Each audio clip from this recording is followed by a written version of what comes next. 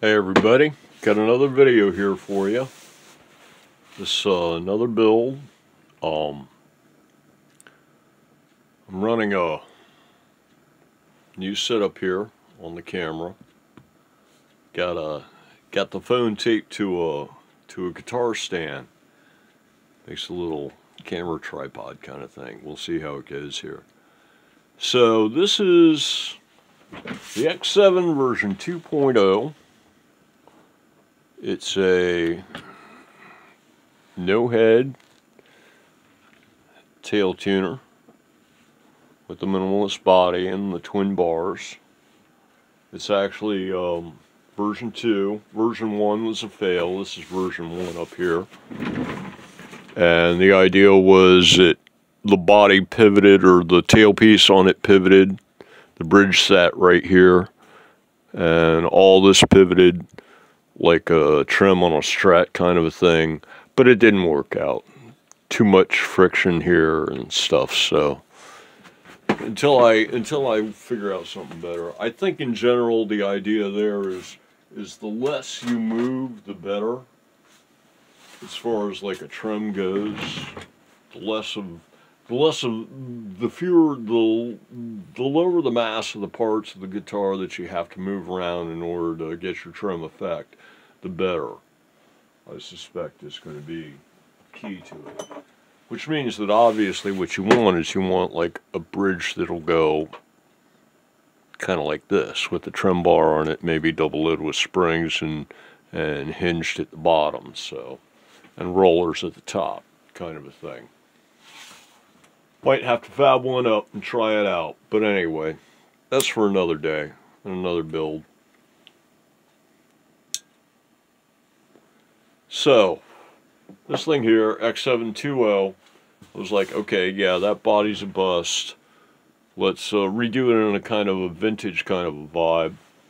So, basically I had the neck, which meant it was going to be a, a no head of some sort. So I made it a tail tuner. This is basically the same kind of guitar as the X6, but done with a vintage vibe. So we've got, you take a you know, eBay, Super Strat neck, got a bunch of them. This isn't easy to do, bunch of them over there. And uh, I think they're going, you can get them now, they're up to about 50 bucks, something like that on eBay these days, but hey, inflation, it sucks. That's what we get for monetary stimulus, man. You know, time to pay the piper, so to speak. That's why fiscal conservatism is really, you want slow, steady growth. But anyway, enough of economics. So, right, so, so this thing was, uh, was already, um, no head.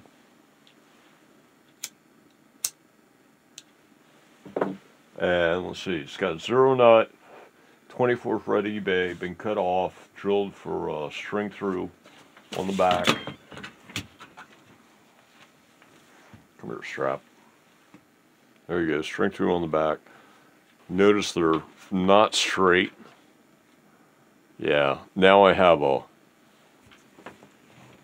if I can get this thing, yeah. Now I have a drill press and the next one will hopefully be a little straighter. But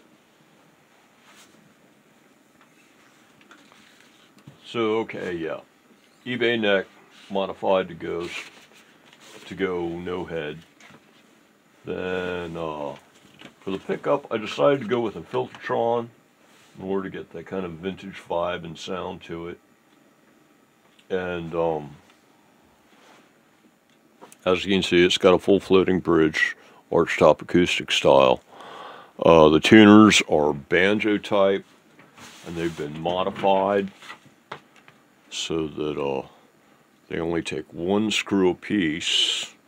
Get it up here in the light. There we go. They take one screw a piece and they've been modified. The other, the tab for the other side with the other screw has been cut off and and ground down and sanded and stuff to make them all smooth and round.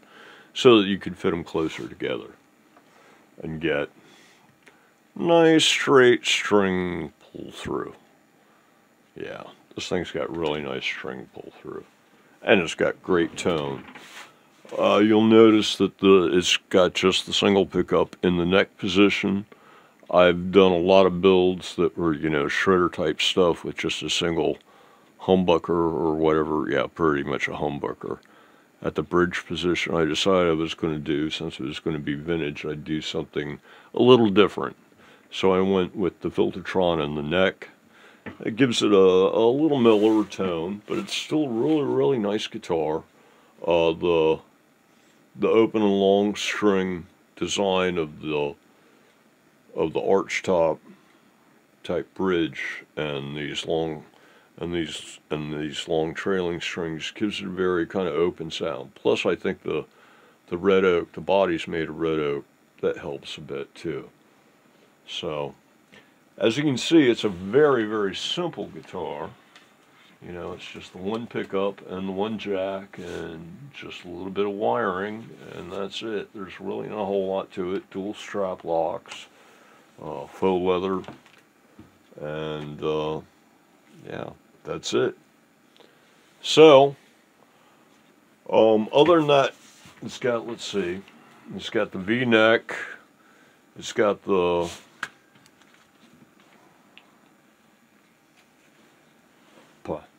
It's got the matching contoured heel going on.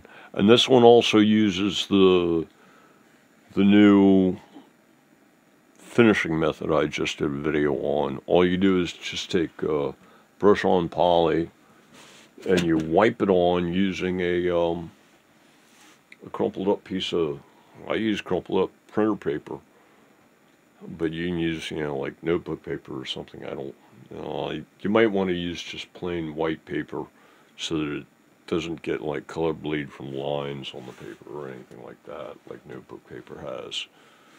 So, but yeah, you just, this was just a single coat, just put on not to wet, and then excess was wiped off with, with more paper, and then let it dry and that's all it took and it came up with a nice sheen and everything. So yeah I'm pleased with this with this finishing method.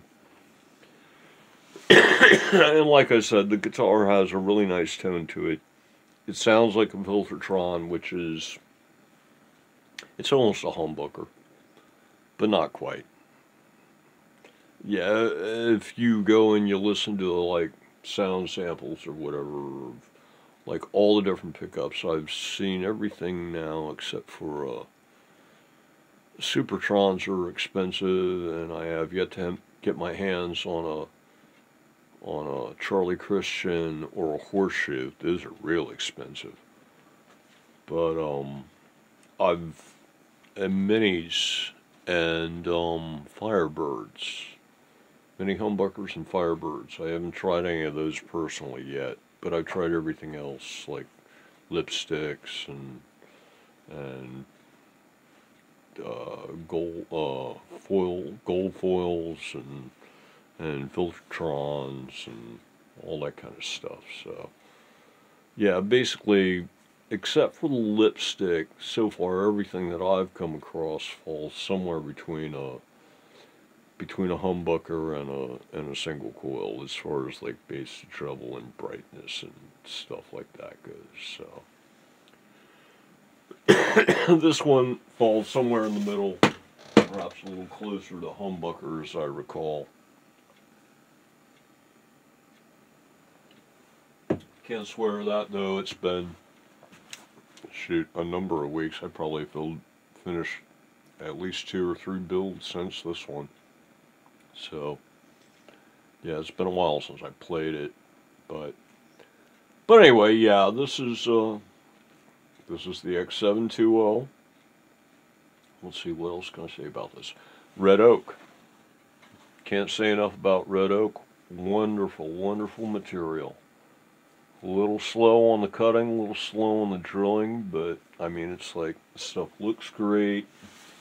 Uh, other than the fact that it's you know hard and and takes a while to cut and drill. Uh, it works great, and um, and it seems to have great tone and everything. So, yeah, I definitely give it two thumbs up. So, yeah, that's going to do it for this one, I do believe. That is the. See if I can get it all on camera here. That is the X7 version 2.0. And I'll see you all in the next one.